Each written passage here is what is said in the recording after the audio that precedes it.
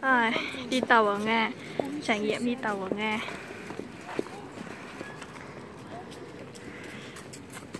À, đất à, lúc nào cũng có